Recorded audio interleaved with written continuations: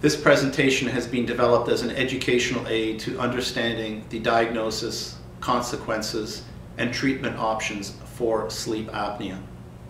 Sleep apnea is increasingly recognized in our population, occurring with a frequency of 4 to 9% in the middle-aged adult population. Sleep apnea becomes more prevalent with obesity, as women go through menopause, and with aging in general. Sleep apnea essentially means that the person is not breathing properly at night. During the daytime, breathing is completely normal. But at night, typically because of what we term obstruction or obstructive sleep apnea, the upper air passage narrows and collapses, causing pauses in the breathing. Although each individual pause is not significant, accumulation of events over the entire night can have substantial consequence. We all stop breathing to some degree during the night, and when this occurs less than five times per hour, we consider this normal. When we stop breathing from 5 to 15 times an hour, we consider this as mild sleep apnea. Moderate sleep apnea is defined as pauses occurring from 15 to 29 times an hour, and severe sleep apnea from 30 or more times per hour. Sleep apnea has different consequences, of which there are three of primary concern. Most important are the cardiovascular risks associated with untreated sleep apnea.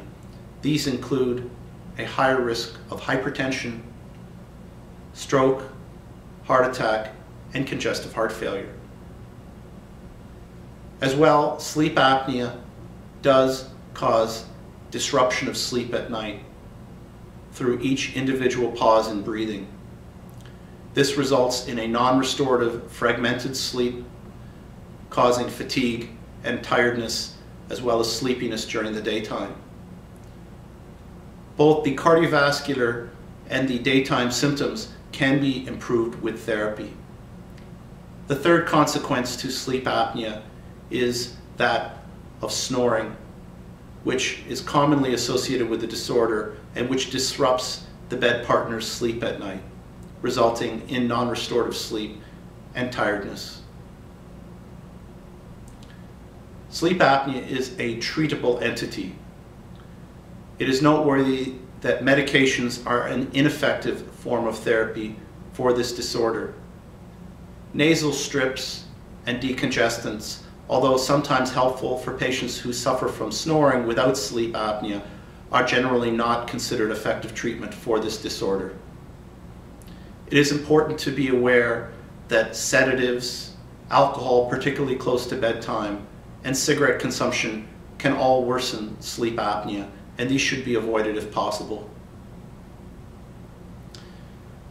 Positional therapy can sometimes be a useful form of treatment for this disorder. In some patients, the sleep apnea is worse when they lie on their back, and avoidance of a position where they're lying on their back can be a useful treatment. This can be accomplished by sewing a tennis ball in the back of a pajama or t-shirt to allow the patient to avoid sleeping in a supine position.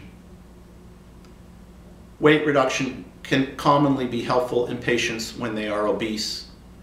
This is an ultimate goal for many patients with sleep apnea, and in some cases, it can be curative if the weight can be lost and maintained in a normal range over a long period of time. In more moderate to severe sleep apnea, we look at other definitive forms of therapy of which there are three primary to discuss. Surgery on the upper air passage, dental device therapy, and nasal CPAP. In obstructive sleep apnea, the upper airway becomes blocked during sleep when the base of the tongue falls back and the adjacent tissues collapse, causing a mechanical obstruction of the upper airway. Surgery of the upper air passage commonly involves removal of the tissues of the soft palate and tonsillar region, either through general anesthesia or while awake with a laser assisted procedure, radiofrequency therapy, or palatal implants. Surgery is best suited for patients with mild sleep apnea. However, it should be remembered that the success rate for surgery, even in the best of hands, is only 50%. As well, it is not uncommon that years later, snoring and sleep apnea may recur. Dental device therapy can be an effective treatment for mild to moderate sleep apnea. The device involves wearing an appliance at night different from the type of appliance worn by patients who grind their teeth. This device protrudes the jaw forward and by doing so moves the tongue forward, widening and preventing collapse of the upper air passage. Dental device therapy is effective in approximately 70% of cases. This treatment is not paid for by the Ministry of Health, but may be partially covered by a private dental plan. Nasal CPAP is currently the treatment of choice for most patients with sleep apnea and is the only recommended therapy for patients with severe disease. CPAP stands for Continuous Positive Airway Pressure and essentially involves using a constant air pressure delivered to the upper air passage to prevent collapse and keep the air passage open while sleeping. In contrast to other treatments discussed, CPAP is effective in treating almost all patients with sleep apnea and is the only therapy that has been proven to prevent the previously described consequences of sleep apnea. It is important to remember that when starting treatment, it will take a few weeks to as long as two months to adjust to therapy. So, patients choosing this form of therapy must be patient while starting treatment to allow themselves to acclimatize. Although there are a number of CPAP devices available, they are all almost equivalently effective. The nasal interface is the most important individual component to focus on when obtaining CPAP. It should fit comfortably and should not leak. If this can be achieved, the experience of using CPAP will be much more positive. It is also important to remember that CPAP is a treatment and not a cure. Thus, it must be worn on a nightly basis and not intermittently. The Ministry of Health does supplement part of the cost of obtaining CPAP therapy. Private insurance commonly provides coverage for the residual costs. This brings our presentation to a close.